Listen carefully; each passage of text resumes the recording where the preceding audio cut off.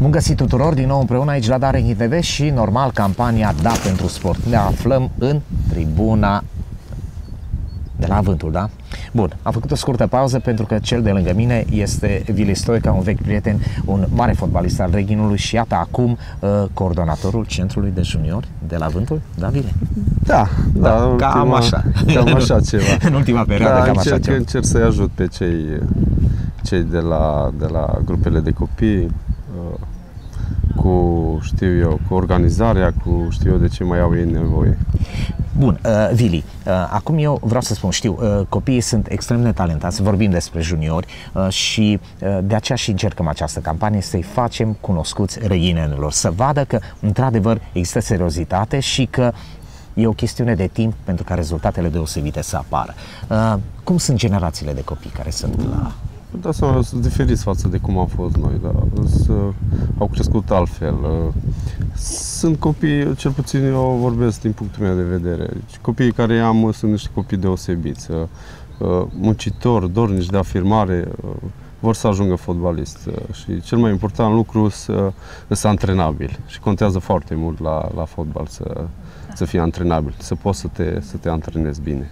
Uite, de exemplu, unii dintre, dintre băieții pe care îi antrenezi tu uh, spuneau că, uh, într-adevăr, nu, adică ne pune la treabă, deci nu sunt superficiale antrenamentele. Știi, deci când un copil spune asta, înseamnă că a mai trecut și pe în alte părți, da, uh, dar își dă seama deja ce înseamnă antrenament sau antrenament superficial. Și când era vorba de tine, zicea, da, într-adevăr ne pune la treabă, e, e bine. Da, deci... în privința asta sunt un pic, un pic uh, foarte drastic, serios. Uh, uh, nu fac ceva deosebit, fac doar ce, ce se face la vârsta lor uh, de vârstă. Metodele, bineînțeles, am eu metodele mele și, și eu zic că până acum să, e bine. E bine, copiii au crescut, uh, care contează cel mai mult, de la an la an, uh, suntem pe drumul cel bun.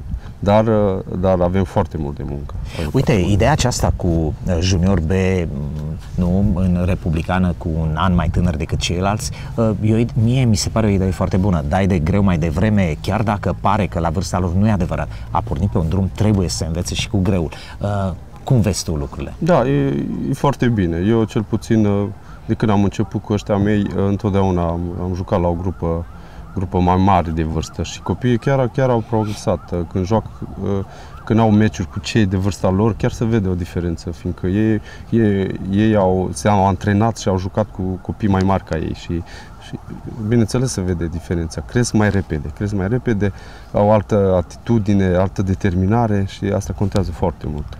Uh, În ziua de astăzi, din ceea ce vezi tu la vârsta lor, uh, există soluții pentru avântul chiar pentru echipa mare în viitorii ani?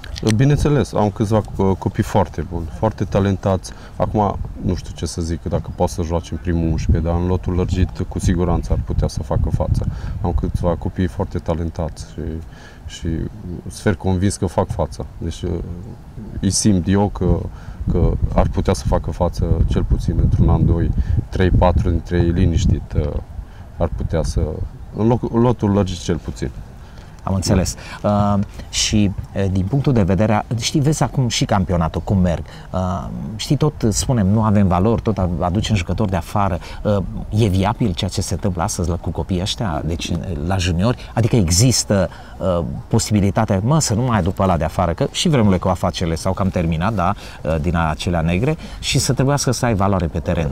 Deocamdată, deocamdată acum, într-un an, doi, uh, trei, să zic așa, o să avem un pic de probleme, fiindcă Până se reglează până se generațiile, tot generații. așa. Da, uh, în anii ce vin, uh, 2001, 2002, 2003, acolo deja sunt copii talentați și cu siguranță o să pună, o să pună accent pe, doar pe jucători uh, localnici.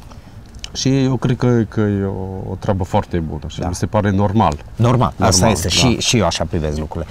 Bun, Vili, uh, aici la Avântul, uh, așa foarte scurt, uh, știu, peste tot sunt probleme, ar, este loc de mai Da, bine, normal. dar momentan, uh, din punctul de vedere al părții acestea, cu juniorii, lucrurile sunt aranjate? Eu sunt mulțumit. Sunt mulțumit de condiții. uh, Bineînțeles că este loc de mai bine. Ca peste Ca tot, peste așa. tot. Uh, Atâta un teren de antrenament, dacă am avea, ar ar fi super. Ar fi super. Da.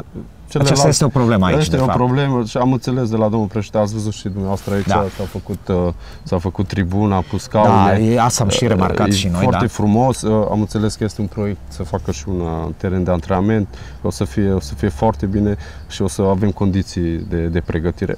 Asta vrem și Bun, uh, Vili Stoica este un mare jucător și în ziua de astăzi, indiferent ce face el acum, efectiv. Uh, dar iată, este un om care se implică și în uh, pregătirea juniorilor și iată că știe despre ce să, se, se vorbește.